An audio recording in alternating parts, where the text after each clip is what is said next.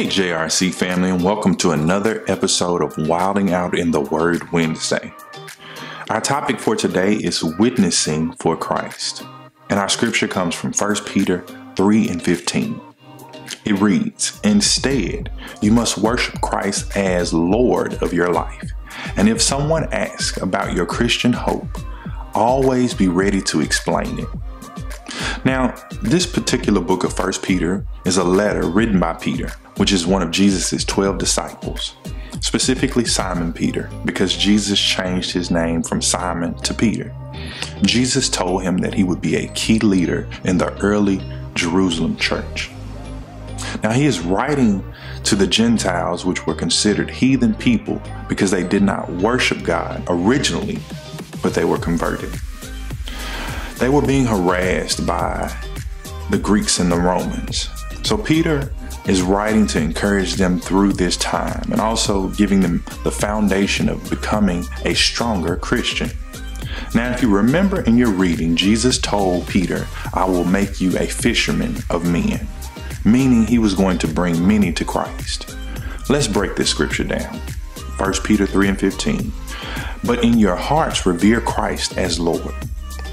This has to be first. When you truly feel deep respect and admiration for God, which is the meaning for revere, then your reactions to someone who says his name or there's an opportunity to talk about him, you feel the strong urge to have the conversation. It says, always be prepared to give an answer to everyone who asks you to give the reason for the hope that you have.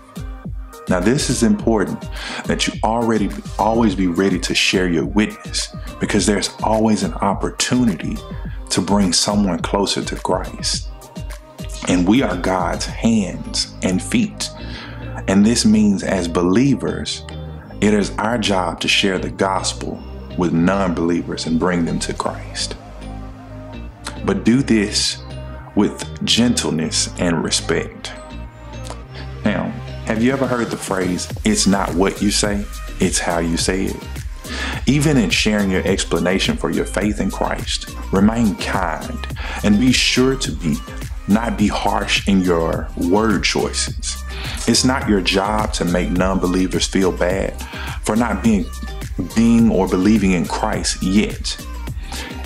In that same sense, we are not to be offensive to those who are in disagreement with our decision. Remember, you are a representative of God, and how they view Christianity will rest on how you present Him to them. Now, witnessing can be a scary subject for some Christians because we have the belief that evangelism should be only left up to an ordained minister. But this is not true. You, as a believer and having accepted Jesus Christ as your Savior, are an evangelist. Peter was not writing to the theological scholars of that time, he was writing to the Gentiles. These were people of non Jewish descent.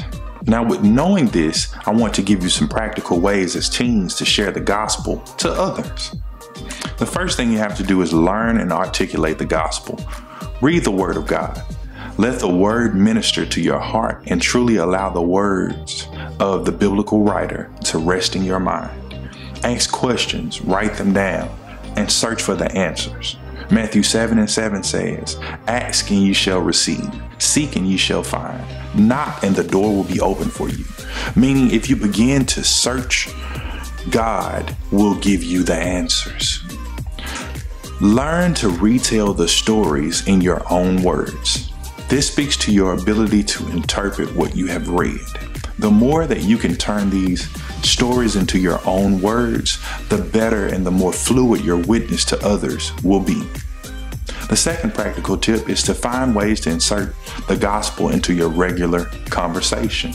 Think about things like what is the trending topics for these days or this month or this week, um, what popular movies are out, and then put that against what the Word of God says. What advisement does the biblical writers give?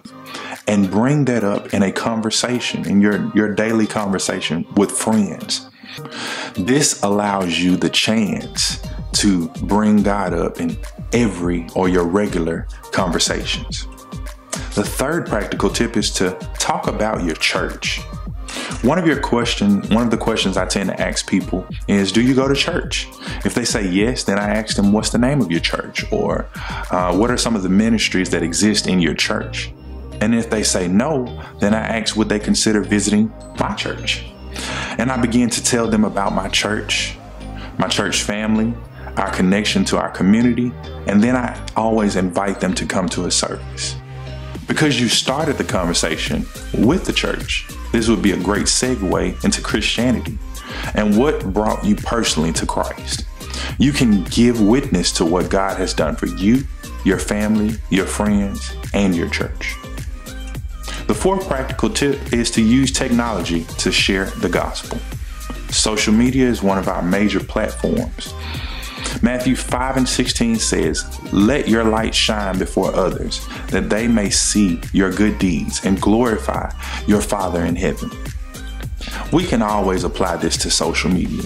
People spend so much time scrolling social media these days, so let when they pass your page that they see the light of Jesus Christ actively existing there. A few example posts may be Bible trivia questions to your friends seeing if they can answer them. Uh, Bible jokes that may be funny yet informative. You can always reshare your churches or your pastor's post.